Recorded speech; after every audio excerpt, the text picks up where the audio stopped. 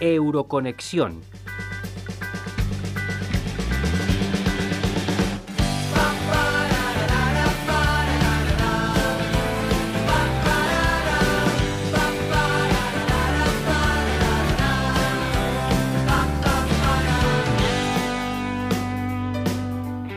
En el año 1957 se firmó en Roma el Tratado Fundacional de la Comunidad Económica Europea, la CE o Mercado Común. Los signatarios fueron Francia, Bélgica, Holanda, Luxemburgo, Alemania Occidental e Italia. Como se ve, a los 12 años de terminada la Segunda Guerra Mundial, cuatro vencedores y dos vencidos se ponían de acuerdo para que no se volviese a repetir una contienda como aquella. El tratado entró en vigor el 1 de enero de 1958.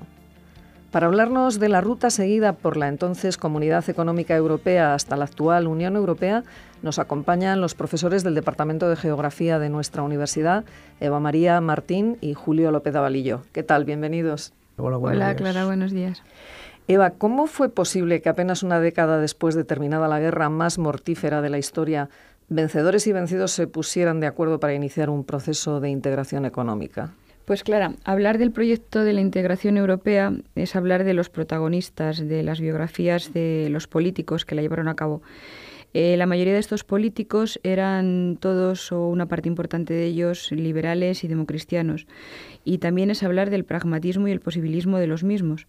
Nos referimos a los que se denominaron padres de Europa, como son el francés Jean Monnet, el belga Henry Spack, el francés Robert Schuman, el canciller alemán Konrad Adenauer y el primer ministro italiano Alcide de Gasperi. Y es hablar de los primeros ensayos de integración de una Europa sobre la que se cernía la Guerra Fría y los conflictos de bloques. En mayo de 1950, Schuman uno de los padres de la Unión Europea, propuso la creación de una autoridad común para regular la industria del carbón y el acero en Alemania Occidental y Francia. La oferta se extendía o la hizo extensiva también a otros países de Europa Occidental.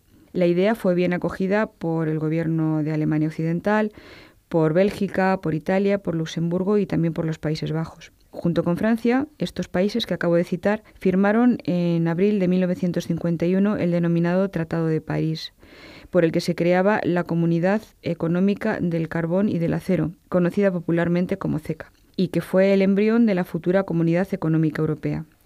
El gobierno británico, por el carácter supranacional de la CECA, optó por no unirse a dicha organización, porque ya sabemos que los británicos siempre han sido reticentes a perder parte de su soberanía. Por lo que vemos, no fue fácil poner en marcha ese primer proyecto de una unión aduanera en Europa Occidental, ¿no, Julio? En efecto, no fue fácil. Esta inicial integración europea, pues la Segunda Guerra Mundial había devastado prácticamente la economía del continente. Algunos europeos esperaban que la reconstrucción de Europa Occidental, con la inestimable ayuda estadounidense del Plan Marshall, que se desarrolló entre los años 1947 y 1952, llevaría a un acuerdo para crear un Estado europeo unificado. Se hablaba de los Estados Unidos de Europa como antes de la guerra propusiera, entre otros, el político socialista francés Aristide Briand.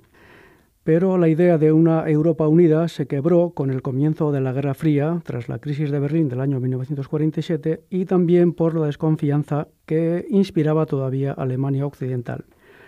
Pero Jean Monnet y Robert Schuman creían que Francia y Alemania podían superar su secular antagonismo si existían los incentivos económicos que estimularan la cooperación entre ambas naciones. Y fue así como surgió la Comunidad Europea del Carbón y del Acero, la CECA, antes mencionada, presidida por el francés Jean Monnet, que propuso que las empresas del carbón y del acero de la República Federal de Alemania y de Francia quedaran bajo la jurisdicción de una única entidad que supervisara su desarrollo, medida que fue incorporada al Plan Schuman y puesto en marcha en 1950. Y, por cierto, ¿cómo funcionaba la CECA, este embrión de la futura Unión Europea? Pues la CECA tenía personalidad jurídica y efectivamente muy bien empleada la palabra embrión porque muchos de sus organismos eh, fueron la base de lo que es la actual Unión Europea. El tratado establecía que tenía que haber una alta autoridad, una asamblea, un consejo de ministros y un tribunal de justicia. La alta autoridad era el órgano ejecutivo y además era independiente y fue el predecesor de la actual Comisión Europea. Este estaba formado por nueve miembros nombrados por un periodo de seis años. Tenía poder de decisión sobre la modernización y la mejora de la producción del carbón, sobre el abastecimiento en igualdad de condiciones, sobre las políticas de exportación de dicho mineral, sobre las condiciones de trabajo en las industrias del carbón y del acero. La alta autoridad contaba además con la asistencia de un comité consultivo, que fue el predecesor del actual Comité Económico y Social Europeo, y estaba formado por representantes de los productores, los trabajadores, los consumidores y los comerciantes. Tenía una asamblea, que fue la predecesora del Parlamento Europeo, y estaba formada por miembros de los parlamentos de las naciones integrantes. Existía además el Consejo, el predecesor del actual Consejo de la Unión Europea. Estos miembros ejercían la presidencia de forma rotatoria por un periodo de tres meses. El Tribunal de Justicia, que fue predecesor del Tribunal de Justicia de la Unión Europea, estaba formado por siete jueces, elegidos por los países miembros de la CECA, que ejercían sus funciones por un periodo no superior a seis años, y que además velaban por el cumplimiento de los acuerdos tomados. El tratado entró en vigor en 1952 y se prolongó en el tiempo, tuvo una duración de 50 años, expirando en el año 2002. El mercado común de la ceca se abrió el 10 de febrero de 1953 para el carbón, el mineral del hierro y la chatarra, y el 1 de mayo de 1953 para el acero. Además, a la Comunidad Económica le surgió la competencia de la Asociación Europea de Libre Comercio, también conocida como EFTA, ¿no? por sus siglas en inglés. En efecto, hoy ya casi, bueno, pues apenas se habla de la EFTA, pero en enero del año 1960, Gran Bretaña, como alma mater de este proyecto, y otros seis países no comunitarios, Austria, Dinamarca, Noruega, Portugal, Suecia y Suiza, como respuesta a la Comunidad Económica Europea, formaron la EFTA.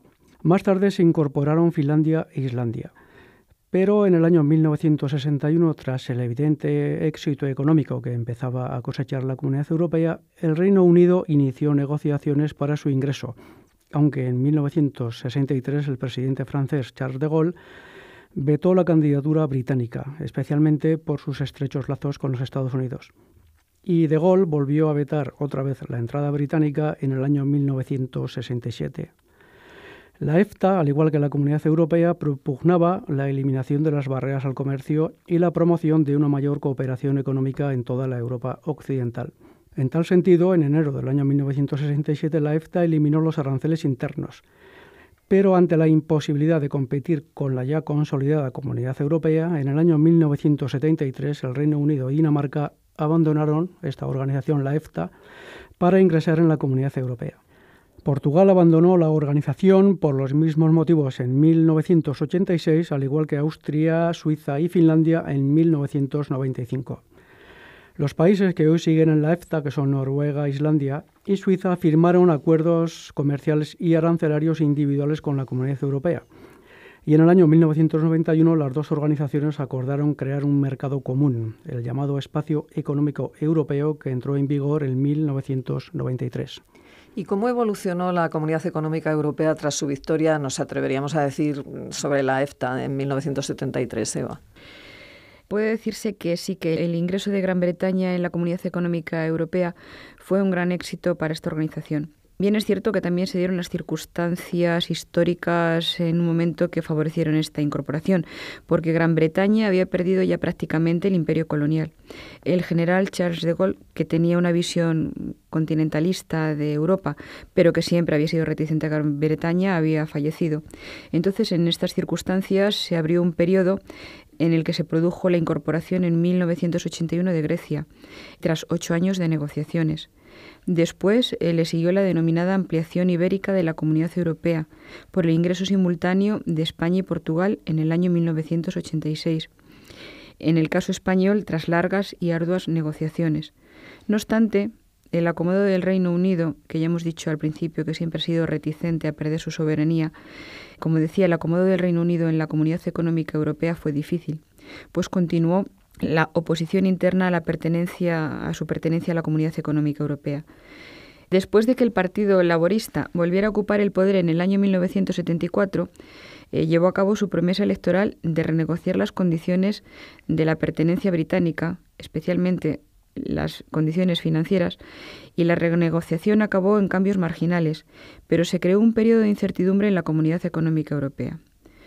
Un gobierno laborista dividido confirmó la pertenencia a la Comunidad Económica Europea y convocó el prometido referéndum sobre el tema en junio de 1975. A pesar de la fuerte oposición de algunos grupos, los británicos votaron a favor de la permanencia por un 67,2%. Siguen los problemas con los británicos, pero la comunidad europea se consolida, ¿no?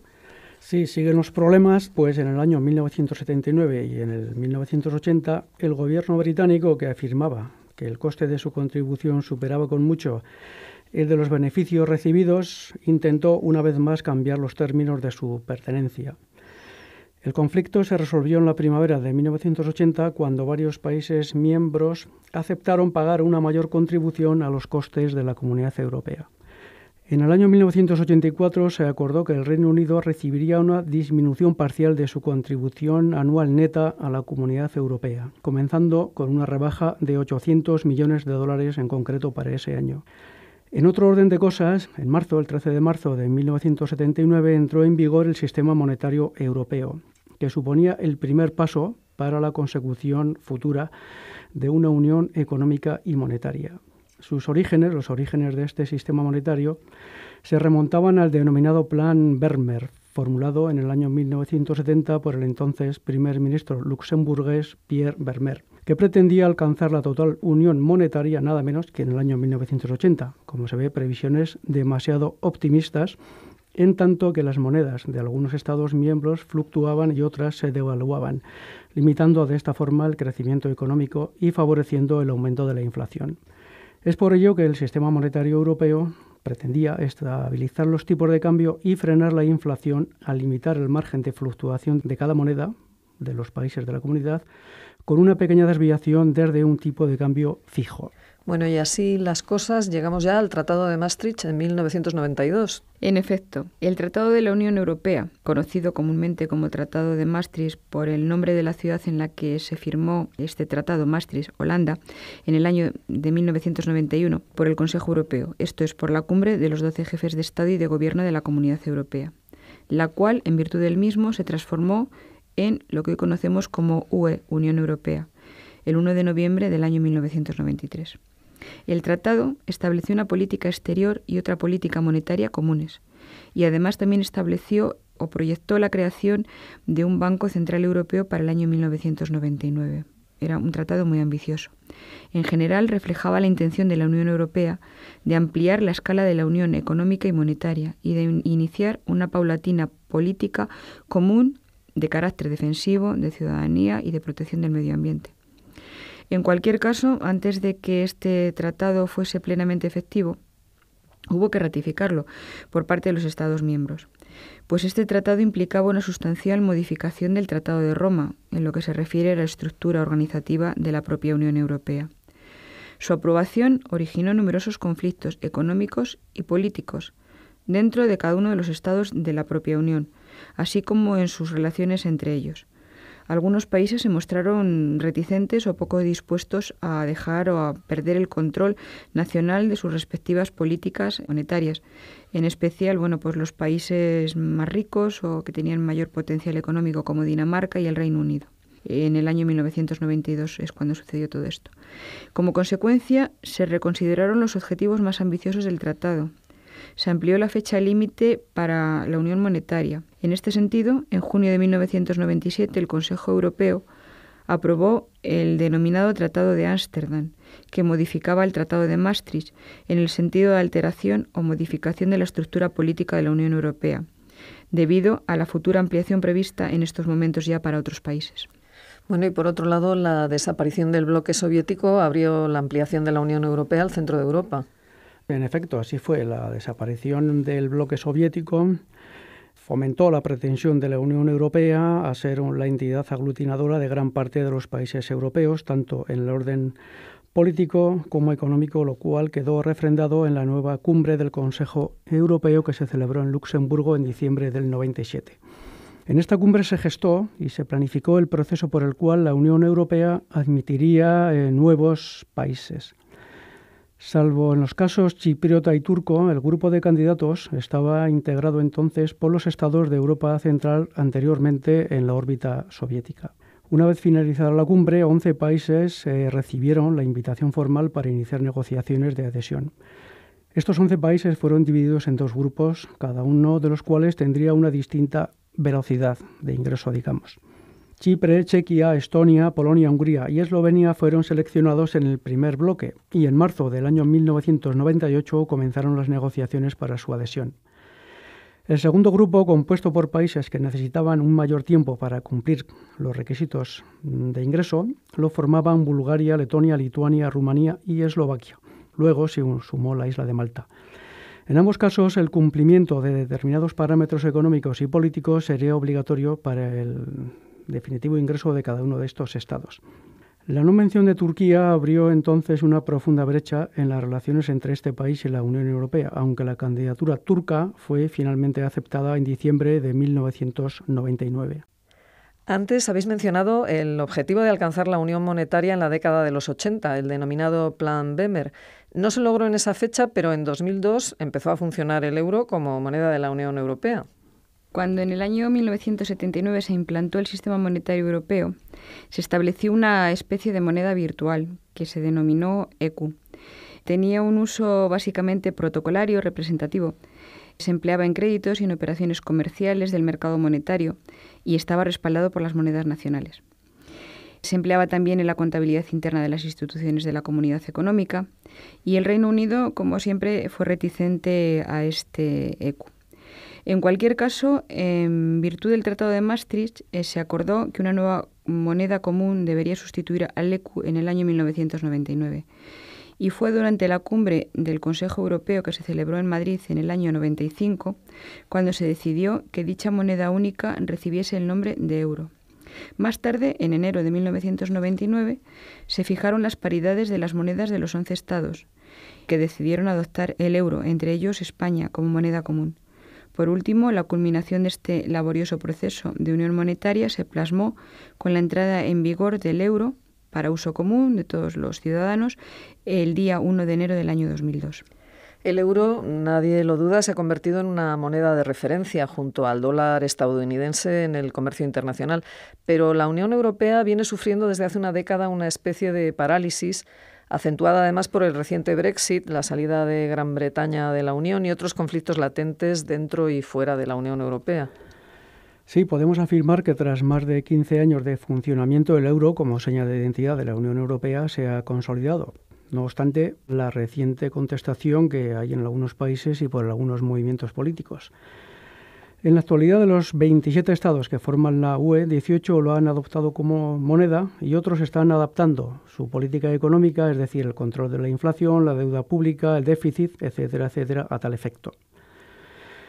Hay que señalar, por otra parte, que los ambiciosos proyectos del denominado Programa 2000, que contemplaba la ampliación al este, la consolidación de la política agraria común, la política exterior y de defensa comunes, etcétera, se están viendo parcialmente cumplidos. La ampliación al este y al sureste se plasmó en el año 2003 con el ingreso de la antigua República Yugoslavia de Eslovenia y a comienzos del 2007 con la incorporación de Rumanía y de Bulgaria.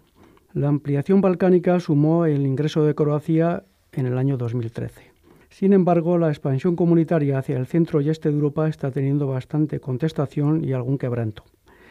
Es el caso de las relaciones con Rusia a cuenta de la pretensión de la Unión Europea de atraer a Ucrania a su órbita. Tengamos en cuenta que Rusia puso en marcha en el año 2015 un proyecto propio de unión económica con otros países euroasiáticos como contrapeso a la Unión Europea y Ucrania era una pieza vital para Rusia de este proyecto. Por otra parte, nos encontramos con la difícil negociación de la salida británica de la Unión Europea, casi tanto como lo fue su tortuoso ingreso, y con el auge de movimientos contestatarios que van desde la negativa de cesión de soberanía de los Estados a la Unión a los partidos y movimientos que abiertamente piden, hoy son minoritarios, la disolución de la misma, liquidar el euro y volver a las monedas nacionales. Bueno, pues 60 años de claroscuros en el proceso de integración de Europa en el que entendemos que aún predominan los claros. 60 años muy densos que han visto primero consolidarse una comunidad de seis miembros, los fundadores, luego el atractivo para otros muchos países, entre ellos el nuestro, el fin de la Guerra Fría y la ampliación al este y sureste y una especie de angustioso compás de espera en la actualidad por las transformaciones que la globalización económica está implicando en todo el mundo. Eva Martín Roda y Julio López Davalillo Larrea, profesores del Departamento de Geografía de la UNED. Muchísimas gracias por habernos acompañado esta mañana. Muchas gracias. Gracias a vosotros. Buenos días. Irene Calvo, Marga Orozco y Clara Gómez desde la UNED para Euroconexión, un proyecto de la Asociación de Radios Universitarias de España y el Parlamento Europeo.